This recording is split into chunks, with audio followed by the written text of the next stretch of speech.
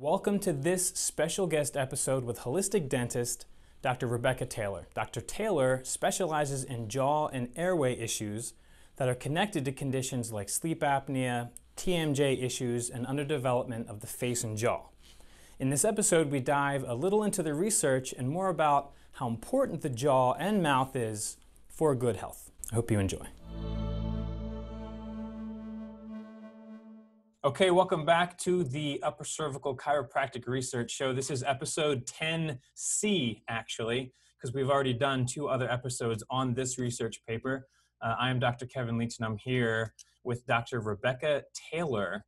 Uh, she will talk to you a little bit about uh, who she is, what she does in a moment here, but the paper we're discussing is called Relationship Between Craniocervical Orientation and Center of Force of Occlusion in Adults. And this is by Curtis Westersund Jeffrey Scholten and Raymond J. Turner, published in the Journal of Craniomandibular and Sleep Practice. So, uh, welcome, Dr. Taylor. Thanks for joining me today. Thanks for having me. Awesome. So, um, we talked a little bit, you know, just before we started here, you know, about this paper and the importance of it. Why don't you just give me kind of your 50,000 foot overview thoughts on on this paper and and how this has to do with what what it is that you do? Okay, uh, so I mean, basically, what the paper is saying is that, uh, or at least what I got from the paper, is that when you change the cervical spine, it can affect the bite and the occlusion. And when you change the bite and the occlusion, it can affect the cervical spine. Um, there's different like some cases will be more affected, right? Some patients will be more affected by adjusting the spine or adjusting the bite. Um, but there seems to be a link. And the conclusion was kind of like dentists and chiropractors need to be working together to treat patients because if, if a chiropractor doesn't, doesn't know about the bite, or if a dentist doesn't know about the spine and how they how they play together, then it's really hard to treat some of those patients that really need that integrated model. Yeah, so, um, and just real quick question, and I'm sorry to cut you off, but it's interesting because you say dentists and chiropractors, but I have a feeling that not all dentists are really going to be trained as you've been trained to really understand how to work with a chiropractor or an upper cervical chiropractor. What are your thoughts on that? Well, I think, you know, TMJ issues and bite issues aren't really taught in dental schools um, we get like very little training in it. Um, so, but as you go down that path and you start to learn more about it, which is what I have done, you start to realize that it's not just about the teeth and it's not just about the joint. But in dental school, we don't learn that. Uh, there's so little talk about the cranial bones and C1, C2, and how they're all connected in the jaw and how it opens and closes and the occlusal contacts. Like we just don't really know about that as dentists. And I believe I heard this um, when I was in a TMJ course that like 50 plus years ago, TMJ was actually treated by medical doctors, and that was in the medical textbooks. And then it got switched. They're like, no, dentists should be treating this. So then dentists took it on. And then they, so, but like, there's not really there's not really a great profession that has really taken on TMJ. So everyone's like, I'll go to my dentist, but like your dentist doesn't really know anything. Like I can't tell you how many patients I see that have had bite guards that they just bite through, you know, and then they just get another one and they bite through that one, they get another one, they bite through that one. So, um, so it is kind of a specialty, but it's kind of like a, there's not really like a, it's not really a specialty. Like when you're done with dental school, you can't like go to become a TMJ expert right. Right? Like right. an endodontist you you could become an endodontist and you could be uh, you know an expert in root canals but like they don't have that for dentistry. Right. So okay so that that's a good lead into how you got involved in doing this and where where was your segue into saying hey this is important and i want to i want to focus on this yeah absolutely. So um you know i i've been very passionate about um, airway issues, so um, snoring, sleep apnea, and ultimately uh, children like facial development and how that impacts um, how that impacts development of the face. Uh, I'm a holistic dentist, so I'm very much like, what is the root cause? And um, when I I originally opened my practice and I started to see a lot of adults with dysfunction, and they would come to me with snoring and sleep apnea and, and TMJ issues. And um, and a lot of times in dentistry, we just pull the jaw forward to help open the airway up. And what I recognize doing this is that you're actually causing a lot more TMJ issues. Um, and then I heard, I so I, I, continued my research, you know, in airway, and I actually heard a chiropractor. I heard um, Dr. Chapman speak, and I saw that behind the airway is the spine, the upper cervical spine, and in front of the airway is the tongue, right, which is encompassed by the teeth and the mouth. So I was like, light bulb, like 50%, right? Like I, I'm only focusing on this part, which is the tongue and the teeth, but there's like this whole other spine thing that's totally impacting the airway. Um, so that's when I started to realize like, wow, like we gotta make sure that there is a, um, like an integrative approach with a lot of these patients. Um, I take CT scans on every single patient that I see it's so important that you do that and have good diagnostic imaging because I can see the rotation of the spine. I can see the airway and how how everything is rotated, right? And then I can see the wear in the same joint. And so I see this correlation over and over and over. And so when you start to see that, you're like, wow, we've got to work together. Like we can't just have dentistry over here and chiropractic over here. Like it just doesn't it doesn't work well um, you can you can do a lot of good for people without the chiropractic piece but you will have a handful of patients that your treatment's not going to work as well you know absolutely and so, i can and i i can relate to that uh, in the other way around is when I mm-hmm. see problems with the cervical spine and misalignment and you know reverse curve in the neck and I treat them and I have some patients that I know need to come and see you because a big part of what's going on with their health is that myofascial development airway kind of thing and what I'm doing for them while it's good it's only getting them so far and mm-hmm. so I mean mm-hmm. in a perfect world if everybody had enough you know time and resources they mm-hmm. everybody would would see both and uh, to get everything to get everything corrected right yeah um so just a, and, a, and a quick question where where did where are you learning and where did you learn i know you do a ton of of continuing education because mm-hmm. you're so mm-hmm. passionate about what what it is that you do where did you get your foundation and and how to treat and and how to do all of this stuff oh man all over all um, over yeah i started at lvi so learning neuromuscular dentistry um, which was great. But uh, at that time, they weren't focusing a lot on the airway. Um, then I did training with Dr. David Singh, who is all about the airway and about facial growth and development and the maxilla specifically, like developing the maxilla. Um, and so then I did more training with um, Dr. Jay Gerber, who used to teach at LVI. So I did his program.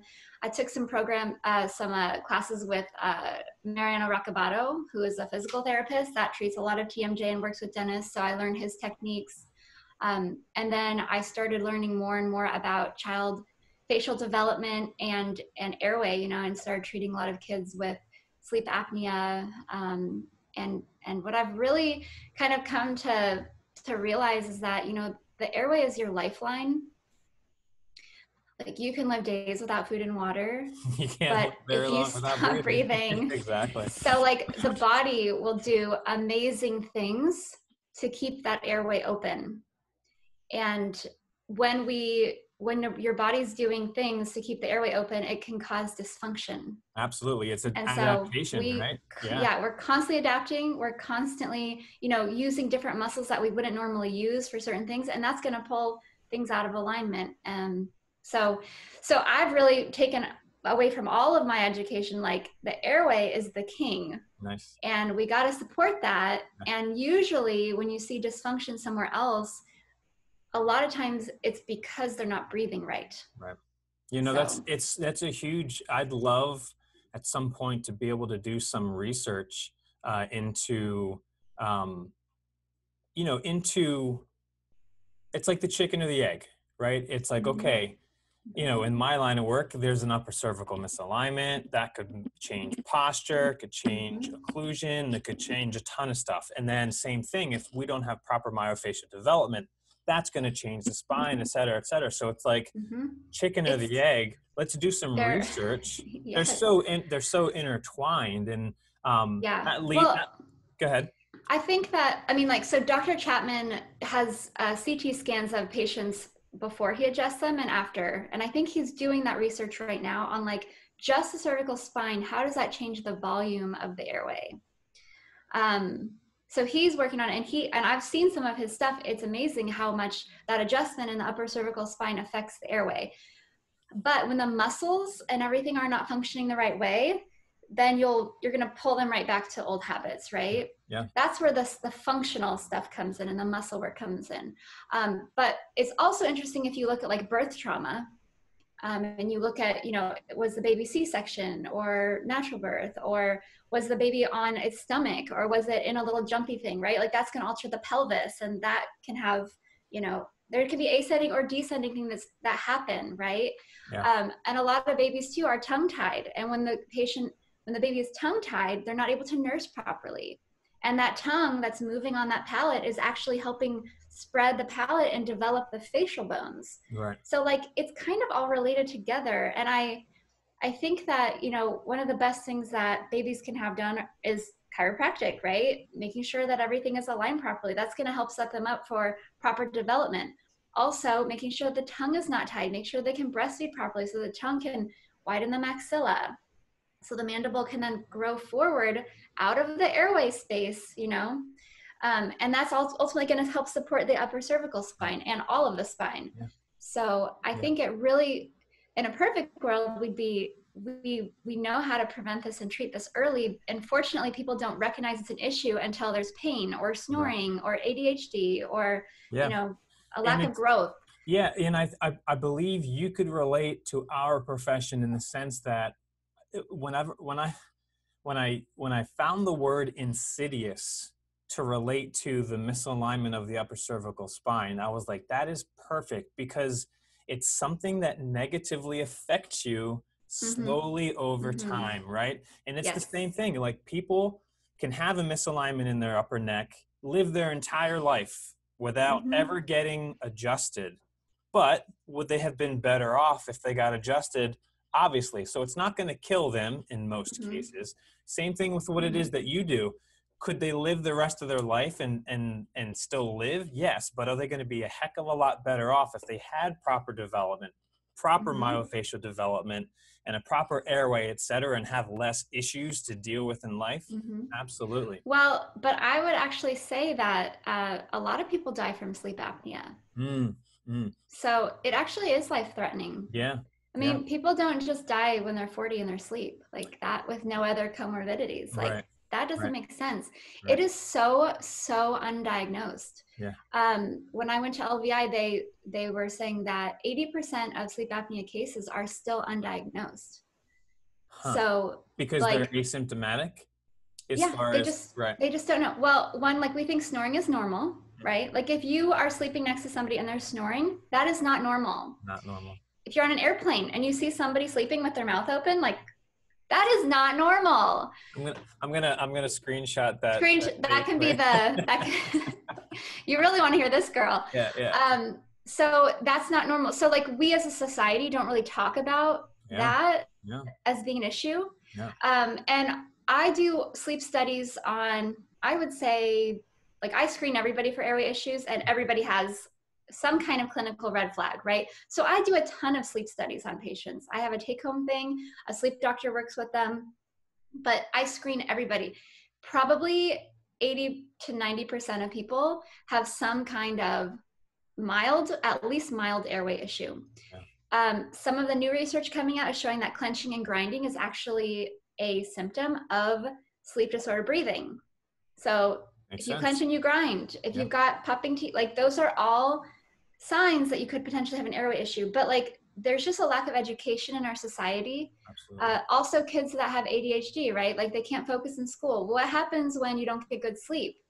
Like as an adult, you're gonna feel irritable, right? And you're gonna feel tired. As a kid, you're gonna feel hyperactive, Yeah. and you're gonna act out. So Mm. I've seen a lot of kids too that their their behavior completely changes in school once they address the airway. But again, we don't we're not talking about that, right? Yeah. Like we don't we're not necessarily as a as a society like saying, "Oh, well, go have the airway checked." We're saying, "Oh, go get them on meds." right? Yeah. So there's just like a disconnect. Yeah. Um, For sure.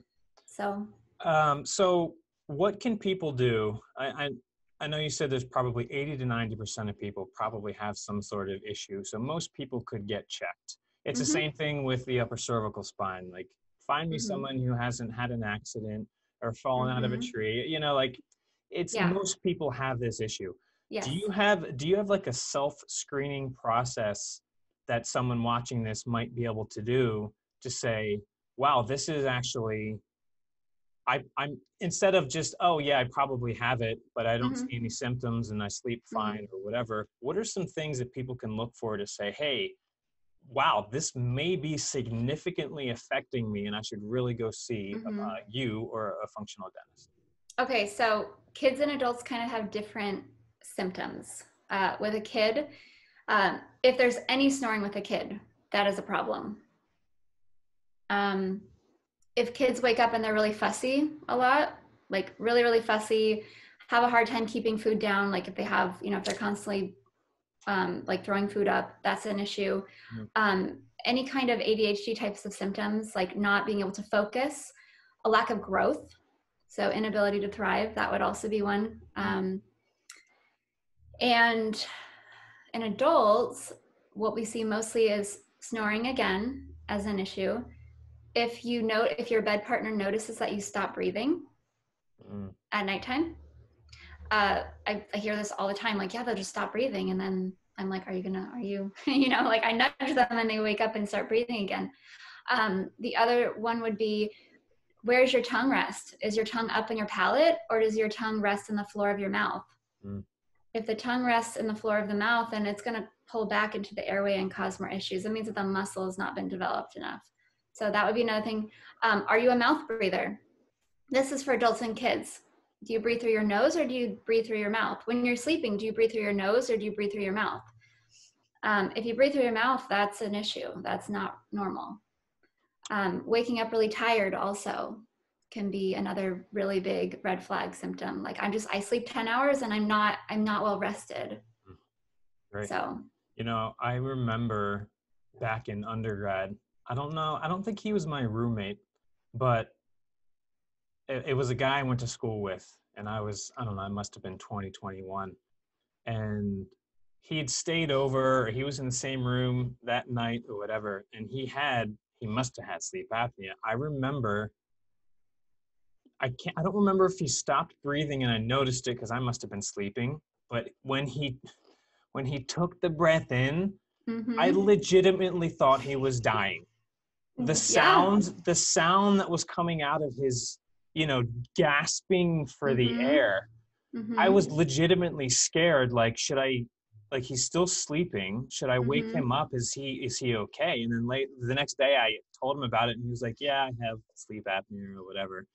I, I, I, it's embedded in my brain. Like, it was so dramatic. I was like, Yeah. this, is, this is crazy. So what happens is if that doesn't get treated, what happens when you don't breathe and you're sleeping or or when you're awake? What happens is your brain goes, um, I need some oxygen. Mhm. Excuse me, where's my oxygen? Yeah. Right? And Yeah. it's like, can you breathe? And there's a like usually there's a physical obstruction. So like the tongue is in the airway and you Right. can't breathe. Right. And so the brain's like, okay, I need oxygen. And it's like, I'm trying, but I can't. Mm, And so what happens is the heart then, because the heart pumps the blood, the heart is like, whoa, we got to get more oxygen to that brain. So then the heart speeds up, that, yeah. Right? And so this is why a lot of people that have sleep apnea that's undiagnosed, they die from a heart attack in their sleep. When you're Mm. sleeping, your blood pressure should go down, Right. not up, Right. right? And your body should be in the in detox mode. It should be healing. Your hormones should be kind of resetting when you're sleeping. But that doesn't happen with people with sleep apnea because it's this fight or flight sympathetic nervous system response that's on all night long because your body is trying to keep you alive. So all sorts of systems break down. Uh, so another one of the red flags would be like, are you on blood pressure pressure meds? Have you had to be on a couple because they don't work well for you? Right. So like we see a lot of a lot of blood pressure issues. And in fact, when you treat the airway, a lot of times you don't have to be on the blood pressure meds anymore. The doctors take them off of them Mm, because like I saw this with my partner Patrick. Like he was on blood pressure meds. We treated his snoring, his airway. young. He's I young. know. He's Gee. he's been on blood pressure meds since he was in his 20s, Mm. early 20s. They were like, we don't know what's wrong with you. Man. And then he's like, oh, I snore. And I'm like, oh my gosh, I need to fix that. Yeah. so I fixed it. Now he doesn't snore. But now his blood pressure, he, we took his blood pressure and it Yeah. was like 100 over 60. We're like, I'm like, oh my gosh, it's so low. Yeah. So he went to his doctor and they're like, okay, well, let's take, take off off the meds." medic. And yeah. now he's normal, you Yeah. know, no more blood pressure. So like, it's, you know, and, and being a dentist, like a lot of times, you know, people are like, well, you're just a dentist, you know, how, how would you know about the blood pressure? But what I'm telling you is like, there's such a link, like we are one body, right? Like the upper cervical spine is to that. connected to Yeah. the rest of the body. Same with the teeth, the mouth, the airway, all of that, right? So mm-hmm. like, it's kind of naive that we have like all of these different, it's, I understand it, but like, we all need to work together on these Yeah. patients because like we can have huge impact on overall health. Yeah. Well, know? it's what what I'm excited about is papers like this that are because if if academia and if the public don't know about this, like we're kind of these the pioneers in this. Because when we talk, if we talk to somebody about this conversation, or the average person sees this, they're going to say, "What are you talking about?" Like they're not even, you know, they're Yeah. not even they're not even close.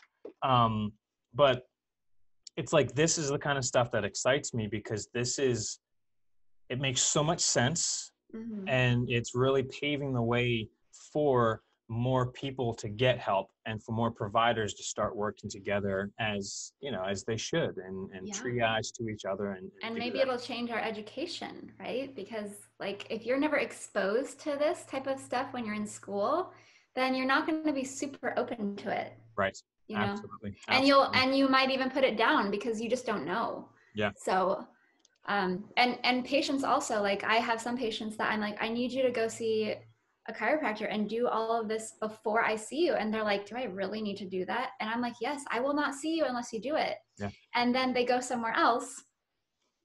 They don't do it. Yep. happens all the time. I know. And then they're worse off and then they come back to me. Yeah, yeah, and i'm like well you decide to go somewhere else. So it's like you know if so if patients like if that was the new standard and it was the new model like Right. oh my gosh it would it would help people so much. It's the same I, I i it's the same thing with me. It's like people come to me and they're like hey i got this problem and i'm like hey i could you know most likely help. Here's how we're going to do it. And they look at me and they're like i haven't heard of this my entire life. Why should Mhm. i believe this or trust this? And i'm like i'm sorry you've never been told. Like i'm sorry that this isn't common but this is this is healthcare and this is the way it should be. It's sad but you know hopefully just more and more you know this information will get out. And i think it will with the you know with still with the availability of information on the internet you know good and bad but people can hopefully sift through that and start to think like that Yeah. makes sense well and know? i think like we are kind of sick of being sick a lot of people they want answers right they're like why am i on all these pills like why can't we fix this like you know and so i think more and more people are turning to like the internet and turning to places to look and like and unfortunately some people do a little too much research online and they have like google degrees right um Yeah. Tell- and they with- come to you and they're like no you need to do it like this and you're like hey uh, let me do my job like Yeah. trust me i Yeah. know what i'm doing Yeah. um but yeah like i do think that in, in this country like our health system is kind of broken and a lot of us with our food and our lifestyle choices like we're not getting better. You know our kids these days are sick. Yep. i see so many sick kids so many kids with tonsils and adenoids that are just inflamed so many kids that are mouth breathing right? So much adhd more autism like all these things and like what is going on? So i think like and it's so multifactorial like i don't believe it's just one thing of course of like, course. you know and everyone likes to blame one thing. It's not. It's like everything together. But like we i think as a society are kind of getting like sick of being sick. Absolutely. and so we're starting to look for more things especially in the west coast right? On the west coast like we're more like open to that type of thing. Right. um, and like it's so funny because you know most most doctors like they don't talk to their patients about nutrition you know if you have a patient that's high cholesterol they're like don't eat eggs you know and it's like the eggs are not the issue Yeah, I know. Oh man. Right? I know. I know. I know. So oh. I think it's just it's a lack of education, and Yeah. I feel so strongly that we really need to like educate all healthcare practitioners to be more integrated. Yeah, You know, and to have more of a functional approach. Like you can have like the CPAP machine. Like there's nothing wrong with a CPAP machine to treat sleep apnea, but if you don't offer patients all of their options, Absolutely. you're not really doing them a service because more. CPAP is not going to correct the problem, right. right? Yep. So Absolutely. yeah. So um, let's give the listeners, uh, if you would, maybe new parents out there. They see Mhm. this and they're like, huh, like, okay, I want my kids, you know, as the twig is bent, so shall the tree grow, right? So Right. what can we, what can you on your side say, okay, here's a, here's a couple, a couple things, a little checklist of things that they should do that they can do Mhm. themselves as parents to Mhm. encourage and help their you know their airway and their their myofascial development and all like Mhm. what can they do a good checklist to make sure that they are going to have a good chance of developing normally Uh, so one, it starts really before your baby's even born, like having good nutrition. Nutrition, yeah Uh, follow Weston Price's Mm. guidance for nutrition. Uh, we're so deficient in different nutrients because of the way that our food is uh, grown and our soils are depleted. So, like everybody, probably when they're pregnant, needs some kind of supplementation. So it starts there. Um, and then after that, like babies need to be breastfed. A lot of times there's difficulty breastfeeding, or they'll tell mom, like, well, you don't have enough milk, and it's really painful.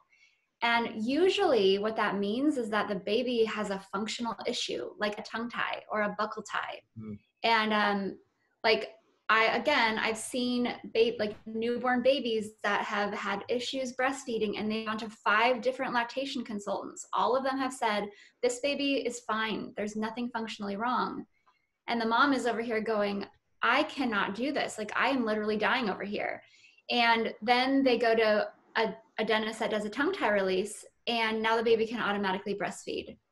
And so, and you just see this time and time again. So, like, get multiple opinions. Like, when if there's an issue breastfeeding, don't give up on an issue. Like, you know, don't give up. huge There's there's a really great uh, clinic in Bellevue actually called Health Latch Hmm. that deals with newborn babies up to four months old, and they're awesome because they are so trained in looking and and identifying tongue tie. Again, it's like so underdiagnosed. So like breastfeeding really sets up a kid not only with their immune system but also for facial development because it gets the palate expanded. Bottles and pacifiers that pushes the tongue down and then the palate collapses. So you're more likely to have So congestion no bottles in no the airway. No bottles, no pacifiers. I mean, that's a tough thing to ask because the pacifier is like the babysitter, right? but right. if you can avoid as much of that as possible, that's good. Also, having your babies use big spoons because you want them stretching their mouth open. It's going to promote development.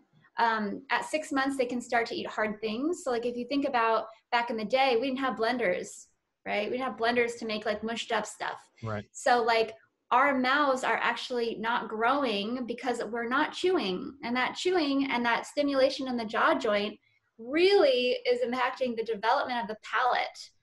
And then when you have this underdevelopment here, everything gets, gets squished and then the spine goes straight, right? It's like reverse curve because the like airways trying to stay open. So Right.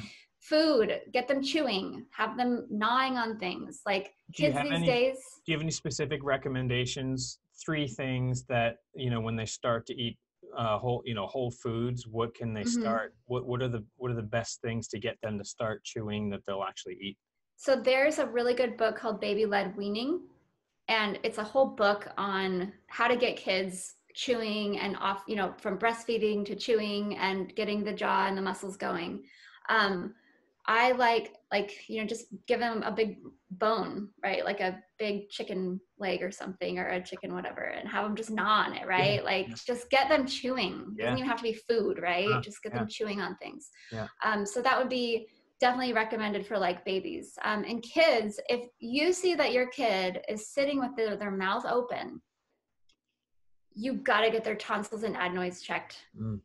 if they have swollen tonsils and adenoids and they're not breathing properly this entire maxilla going to collapse everything going to go back upper cervical spine will be affected, right? Right, so yeah. you got to get them breathing through their nose. Hmm. I'm not a huge fan of removing tonsils and adenoids because I believe that tonsils and adenoids that are inflamed are a sign of something else going on. Right. Um, but you have to address them. So whether you address them with a functional medicine doctor or a naturopath or an ENT who removes them, like I don't really care, but we have to get the, the nasal breathing established um, and the mouth closed. Great. Also, sometimes kids are tongue tied because it's missed as a baby, right? See this too, where like kids uh, could only breast them for two, feed them for two months. It was painful, so they went to bottle, and then now they are they got their mouth open all the time, Yeah. and maybe they're tongue tied, and that's what's pulling the jaw down. So if your kid is mouth breathing, that we need to look deeper into that. Uh, a good test you can do with your child is like put a piece of tape over their mouth and see if they can breathe through their nose for two minutes. If they can do that, Yeah. then usually we can work with them to retrain it and it may be more of a habit, Mm. right? Because Mm. kids are, we don't really teach kids how to breathe. We're not like, hey, nose is for breathing, mouth Right. is for eating and Yeah. smiling, right? We're like, we're like, oh, my kid's so cute. Look at him. He's, you know.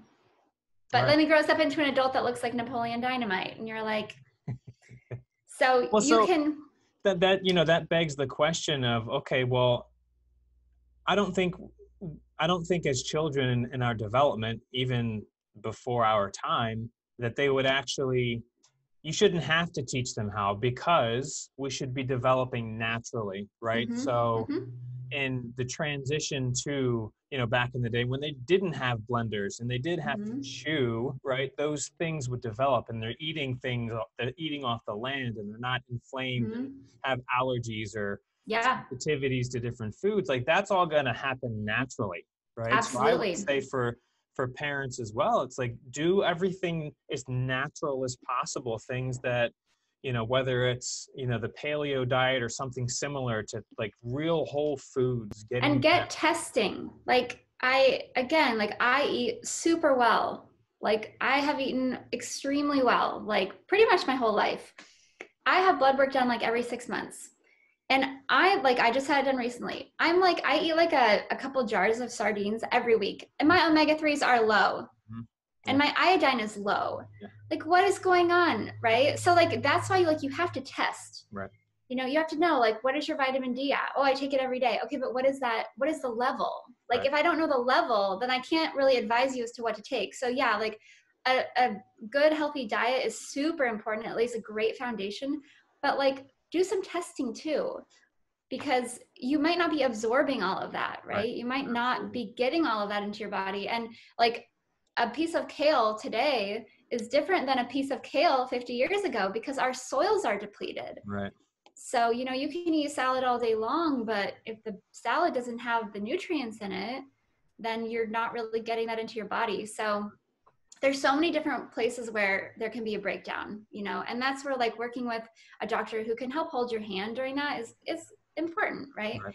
Um, but yeah, like just eating a more whole food diet. I really like Weston Price's book. You know, he was a dentist that went around in the 1930s and he looked at all these populations that hadn't had any kind of like processed food introduced or you know they were living off of the land Yeah. and he found that none of them needed orthodontics like they had these huge wide palates they had no health issues like you know women would have 14 babies and all of their teeth would be completely rock hard solid um, and he found that it didn't matter if they were in alaska or the philippines or switzerland they're all eating different diets but he found that the fat soluble vitamins were really important in you know um, oral health and um, what's that would- book called again um just for the listeners it's, i can link it's to it Weston. It's by Weston Price, and it's called um, Nutritional Degeneration. Got it.